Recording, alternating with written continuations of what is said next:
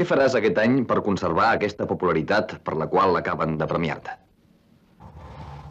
Bé, no, no penso fer res d'especial, només el mateix que he fet aquest any passat.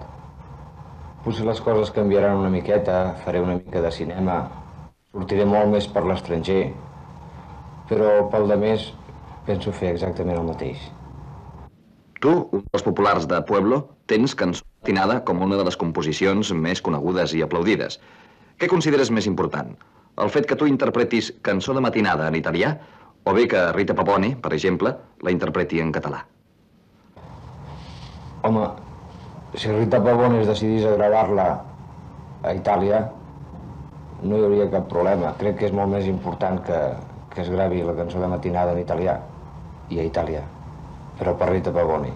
Seria ideal les dues coses.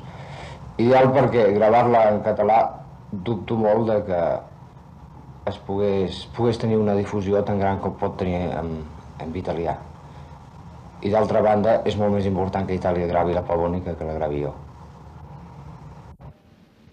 Suposem que quan tu graves les teves cançons en francès o en italià ajudes a fer més popular la cançó catalana.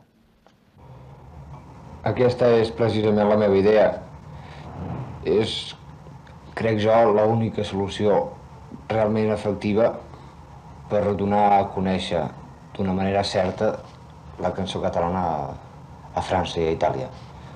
Ja hem parlat abans d'això, crec que, que és molt més directe que gravar en català. Gravar amb la llengua dels països, de cadascun dels països.